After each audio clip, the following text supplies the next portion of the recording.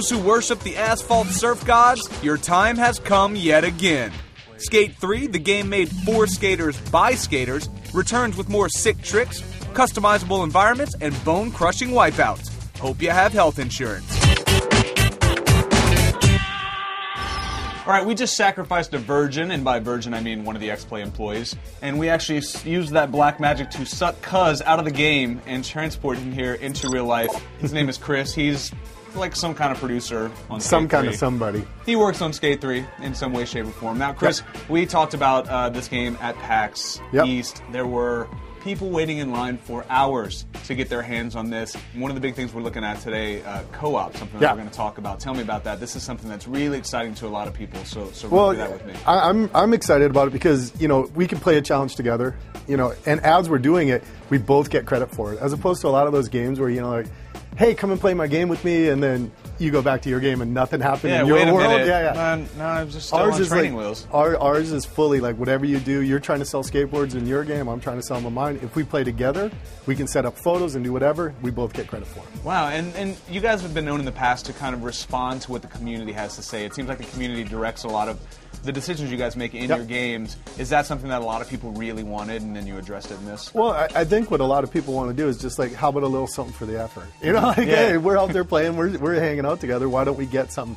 And uh, it can be from the creative aspect of it, of creating a skate park, uploading it. If people download it, you know, you get credit for it. You sell skateboards, or competitive. We have new game modes like uh, domination, one up, and stuff like that, where we can actually compete against each other, and we can compete as a team or individually.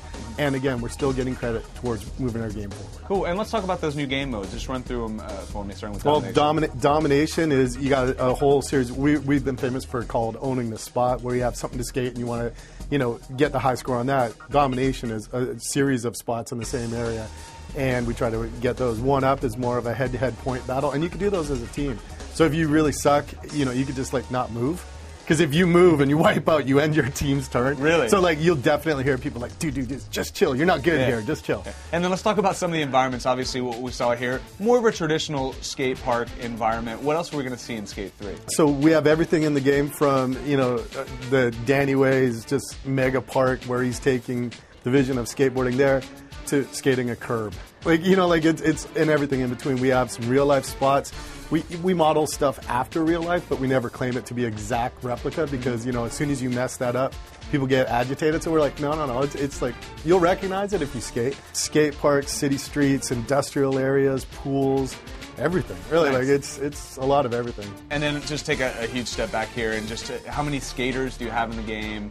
Just, you know, all the basics. 28, 30, we have uh, 28 or 30 skaters, a couple uh, surprise guests in there. It's huge, like the, just the number of people that have been involved. And we l- really look at it as a family. Thrasher Magazine and the Skateboard Mag are back, and uh, it's become part of sort of the skate family. And like once you're in, we want you to stay in. All right, if you're watching this segment, you like to skate, so I don't need to introduce this dude, Danny Way.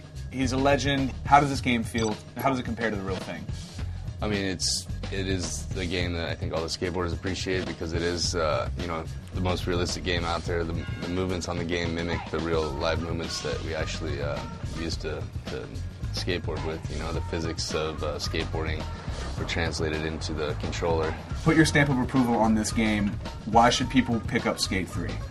I think that you know Skate 3 is a is a perfect example of or you know a simulation of what skateboarding is about. I think you know if you want to experience skateboarding and don't necessarily want to go out and break yourself doing it, I think you can get a good experience through the game and uh, not necessarily have to uh, pay the price that you would physically in real life. Huge thanks to Chris and Danny for being here again, guys. The game is out on May 11th on the 360 and the PS3. The demo is out right now. Back to you, Adam.